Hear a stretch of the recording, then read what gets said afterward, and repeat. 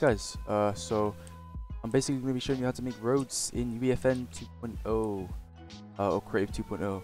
I don't know why people are making 20 minute videos on this, but I'm just going to be showing you it in like five steps. So yeah, so what you want to do is go to the top left here and then go to landscape. Then what you want to do is where it says your layer, which should have a layer as default. Then go to create right click it and then press create and then you want to rename this to road or whatever you want. This is going to be our road. So and then you want to right click this again on the road one and then you want to do reverse uh, reserve for splines. And then um, what you want to do then is you want to go to uh, so you want to go down here where you want to put your road.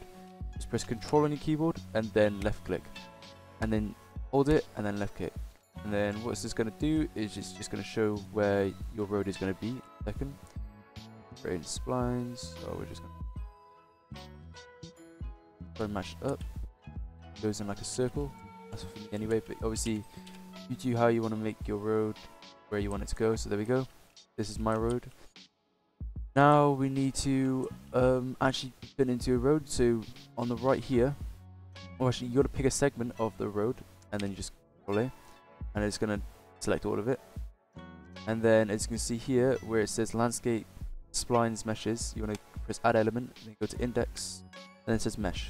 Then you want to go in here, and then you want to change it to road. So you can pick any of these, like racetrack, mud track will give you this, and then if you do the normal road, which if you road straight, then uh, it'll make a normal road. Now don't do road bridge unless you want like massive collisions on those sides, because it's really weird if you have massive collisions. But yeah, so now we just, so that's basically how to uh, make the roads, but we want to make it so you, grass isn't showing. So all you need to do is where it says scale, you just want to go to the Z axis and then change this to 4, which is what I found out was the best way to do it, as it can't see any grass. Sometimes it does show grass here, but if it does, then all you have to do is just change it to 5, 6, and it'll be gone.